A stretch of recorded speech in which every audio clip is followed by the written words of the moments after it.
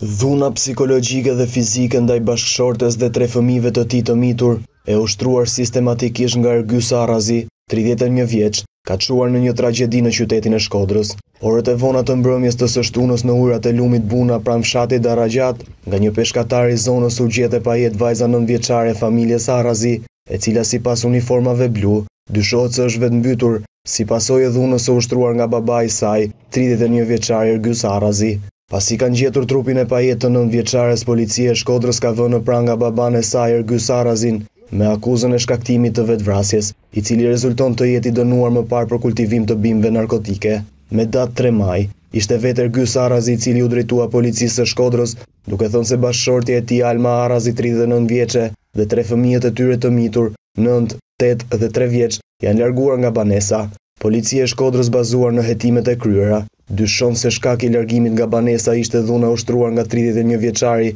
ndaj bashkëshortes dhe fëmijëve, të cilët dyshohet se të gjithë mund të kenë kryer vetëvrasje duke u hedhur në lumin Buna, rreth tre kilometra larg banesës së tyre. Që prej orëve të para të mëngjesit të së dielës, Polumbarët e RENEA-s po vijojnë kërkimet në shtratin e lumit Buna për gjetjen e Alma Arrazit dhe dy fëmijëve të tjerë, tetë dhe tre vjeç. Ndërkohë Policia e Shkodrës po vijon hetimet dhe marrjen në pyetje të familjarëve të të arrestuarit Ergys Arrazi dhe të Alma Arrazit.